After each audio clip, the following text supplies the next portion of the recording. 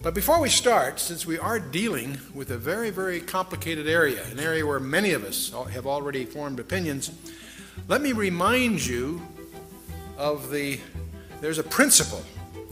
According to Edmund Spencer, he, he articulated this. So, one of our challenges as we go into this very complicated topic is to set aside our prejudices and presuppositions and let's see what we can uh, find out. Now, if you study ancient legends, you'll discover the ancient, most earliest culture, Sumer has these legends, Assyria, Egypt, Incas, Mayan, Gilgam, uh, Gilgamesh in Babylon, uh, Persia, Greece, of course. Most of us are familiar with the Greek versions of this mythology. India, Bolivia, South Sudan. Even the American Indians speak of the star people that came down and so forth.